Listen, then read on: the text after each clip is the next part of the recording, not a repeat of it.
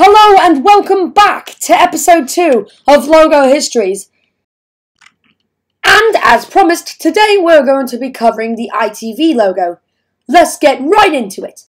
1955 to 1963. Um, it's just some plain text. Um, I don't really have anything else to say here, so let's move on. 1963 to 1971. Oh, here's something a little bit more creative. As you can see, um, you can see the text ITV above its own text of its full name. Um, now, this logo has not had very many sightings, so let's get to finding all the rare logos on this list. Alright. 1966 to 1973. Oh, now the text has been removed, as you can see, and the uh, ITV text has been like put into a more condensed form. And now this is like the third logo on our list, and still, I have nothing to say here. Let's move on. 1973 to 1986. Oh, oh, finally. Um, as you can see, the uh, the text has been uh, well, basically it's been like all smushed together a lot more. When will they stop smushing it together? Who knows? Let's find out in the next logo. 1975 to 1980. Now, here's a very, very stylized version. Um, you can see the font used is called Aki Lines, and um, I don't know if there have been any sightings of this logo in any like specific videos. Let's move on. 1980 to 1993.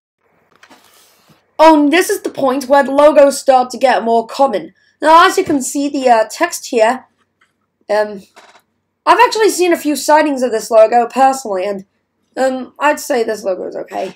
Let's move on. 1989 to 1998. Oh, this logo was actually the, the regional variants of this logo were actually turned down by most of the regions owned by ITV. And the only one, the, the only region that used this variant of this logo for the full run until the logo got replaced is Grampian Television. Used it from the 4th of September 1989 and, spoiler alert, the 4th of October 1998.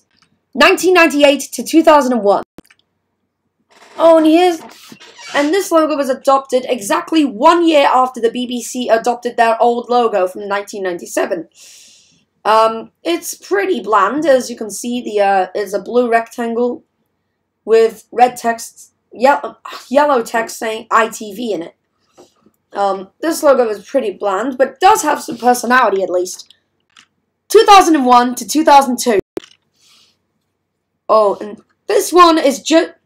This one is also boring because they just all they did here is add another yellow square and put a number and put a blue one in it. And trust me, the next logo is even more boring. 2002 to 2004. Ah, here, it's just a 3D version of the old one. Nothing to say here. 2004 to 2006. And you know what they've done here? That they split up. Look, they, they, they split up all the letters and the numbers stayed intact, but they've split the old 1998 logo and turned it into, like, you know, like put them into little squares. 2006 as a prototype logo. Um, this one was not very was not used for very long, and this logo has has had very very few findings. So um, let's move on. 2006 to 2010. And they've changed, for some reason, they've changed the ITV text to black instead of white. It would have been done even more better if it was black. Anyway, let's uh, move on, shall we? 2010 to 2013. And they've added a gradient. Wow. Well done. Well done for your blandness. Yeah, this one gets the gold medal for blandness. Well done. 2013 to 2018. And here's the logo we're all familiar with. Just the ITV logo and a colourful script. It's a pretty unique logo. And and trust me, that kind of gets destroyed in the next and current logo. 2019 to the present day. Um, this one is actually, it's actually destroyed all the colorful vibe. and instead of five colours, they've done three. Um, a cyanish colour, a bluish black colour, and a, a slightly lighter, slightly lighter version of the last one. Alright, and speaking of which, thank you so much for watching the second episode of my series, Logo History.